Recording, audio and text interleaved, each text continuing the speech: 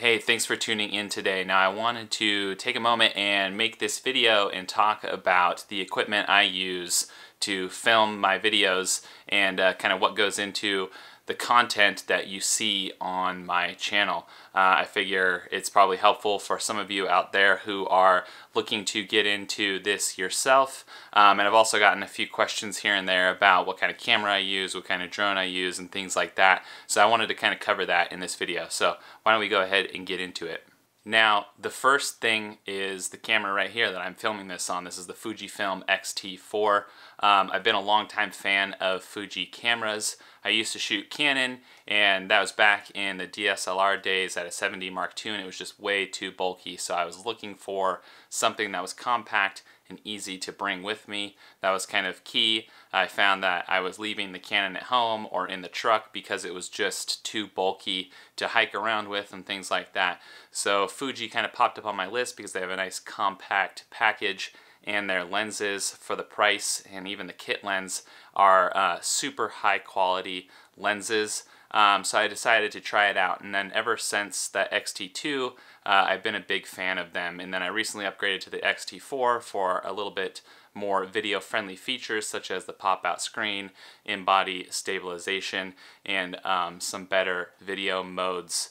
Now, I'm not going to go into the specs of the Fujifilm X-T4 because there's lots of videos out there that you can watch on that, but basically what it boils down to is it's a great hybrid camera. It shoots really good stills and it shoots um, really good video and that was needed for me because I didn't want to have two cameras or anything like that. I wanted to have a kind of a one camera system and this checked all of the boxes for me while still not being super expensive. Um, I have three lenses for the Fujifilm X-T4. I have the one I'm shooting on right now, which is the 10 to 24 f4. It's a really good, just wide angle, good landscape lens. It's especially good for vlogging and doing video because you can get that nice wide angle. Um, I have the 18 to 55 f2.8 to f4 kit lens. Uh, I've absolutely loved this lens because it's super compact, it's fast on the wide end, and it's um, really sharp for a kit lens and it has in-body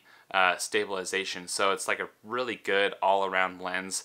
Most of the times kit lenses are well garbage but in Fujifilm's case this one really I mean it's awesome. I all you can look at my Instagram. All of the pictures on my Instagram save for maybe a few are taken with that lens. So I've absolutely loved it. Um, and I just recently got this 10 to 24 and then the third lens that I have is a Rokinon um, 12 millimeter f2.0. This is what I use for astrophotography and shooting, you know, night scenes like that, just because it's wide and it's fast, um, but primarily astrophotography. And to complement the X-T4, I use a Rode Video Micro um, external mic. I like that it's super compact and small, and it doesn't require an external battery, which is kind of key. I have so many things that I charge and have to charge before I go out on an adventure. It's nice to have one less thing to worry about charging. And then finally, um, I have a few tripods. I have my Davis and Sanford um, carbon fiber tripod. Super light, packs up small. Uh, it wasn't super expensive. So I've absolutely loved this tripod. And then I have just like your Joby um, small tripod for sitting on the ground or wrapping around a branch or something like that. Now, another camera that I employ is the DJI Pocket. I think it used to be called the Osmo Pocket. They maybe dropped the Osmo off of it. But uh, this is something that I don't use a ton. Um, I've used it in the building of my DIY camper. Uh, one really awesome feature is that it can do kind of these motion time lapses. So you can set like an in point and an out point and it will slowly pan the camera kind of to wherever you set those points and shoot a time lapse along the way. So it makes for some really dynamic time lapses. Uh, that feature is really awesome. Another uh, good use for the Osmo uh, Pocket is on the motorcycle because it's so small and compact and it shoots really awesome video for the size of the sensor and how small it is. So it's a really potent tool to take with you when you're trying to go fast and light, like on a dirt bike or on the motorcycle when uh, space is at a premium. So I'm actually itching to get out and use it some more here coming up on some trips. Um, but uh, yeah, that's kind of just another tool in the arsenal that I have. The next tool, um, I don't really use a ton, but it's the GoPro Hero 7 Black. I use it more so on the drone, which we'll get into in a moment. But uh, the main use for the GoPro for me is on my helmet, on the motorcycle, up here on the chin.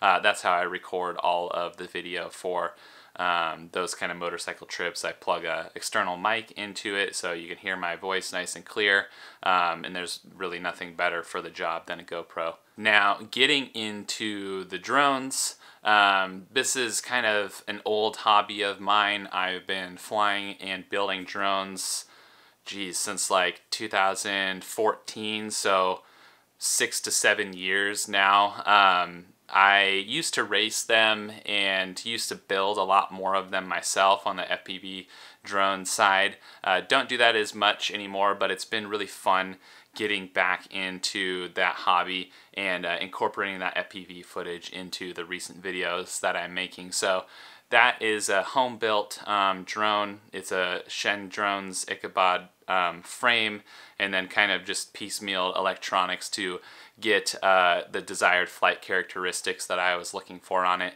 Uh, the GoPro Hero 7 Black is what I shoot with on that currently. Does a phenomenal job for a GoPro shooting at 4K 30. Um, I mean, as you've seen in some of my videos, I think the footage that comes out of it is pretty awesome, but uh, that was built as a long range rig so I can fly pretty far away and uh, do those cool things like surfing down ridges and stuff. But uh, yeah, the FPV hobby, super fun. Um, I'm stoked to be getting kind of back into it and incorporating more of that footage into the videos that I bring to my channel. The other drone in my arsenal is the DJI Mavic 2 Pro. This is kind of like the workhorse um, drone for me. It folds up nice and compact, which Again, I, I love things that are small and compact and easy to bring with me and don't take up much space because in the extended cab Tacoma, space becomes um, limited when you have uh, you know me and the wife in there and you're packing for a couple of days. So the Mavic 2 is awesome.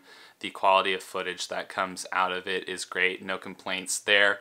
Uh, low light could be a little bit better, but that's kind of the price you pay for a smaller drone uh, with a smaller sensor. Battery life is awesome, and uh, there's really nothing else out there that can even compete with the DJI. They're just super easy to fly. They produce great results, take great images, and take great video. So I definitely love the Mavic 2 Pro. Um, the last drone in my fleet that I use is the Skydio 2. Now, I picked this drone up because of its self-flying capabilities, the ability to basically follow and track the subject and also avoid obstacles, dust flying through there, um, avoid obstacles. That was super key for me because uh, I needed a way to try and film when I was out on the motorcycle and uh, get shots while I'm driving in the truck and I have to pay attention to, well, driving in, you know, not hitting trees or driving off the road. Um, so the Skydio 2 has been super awesome in catching these dynamic shots when I'm in areas where I can't actually control the Mavic 2. Um, you can set the Mavic 2 to do, you know, certain um, kind of like cable cam style shots where it'll fly from point A to point B and things like that. But um, it's not nearly as good, or I, I guess it's not re even remotely as good as the Skydio 2 is at avoiding obstacles and flying really close proximity to trees and things like that. So that's been awesome to have, especially on the motorcycle when I can't actually control the drone. I can just get it up in the air and then it'll follow me on the motorcycle until I decide to land it and it'll capture awesome footage along the way. Now the last tool in my arsenal is probably something most people have and that is a cell phone. For me it's an iPhone uh, 11 Pro Max and phones these days just shoot phenomenal quality video. Um, you can get away with a cell phone on a lot of things. There are people who have built their entire YouTube channels and do all of their content with cell phones. So definitely a very powerful tool. Um, I used to shoot a lot more on the iPhone. I've been trying to shoot more on the X-T4 just to get a little bit higher quality footage, you know, that depth of field. But I will sub in the iPhone from time to time, uh, especially if the, the camera here is recording, you know, like a time lapse or something like that. When it's occupied, I'll use the iPhone to capture footage while this one's being used for another purpose. And it's also a great tool to have just in a pinch. Sometimes I might walk out to somewhere and I'll forget the camera in the truck or whatever, but I'll usually always have my phone on me so I can still use it to capture content.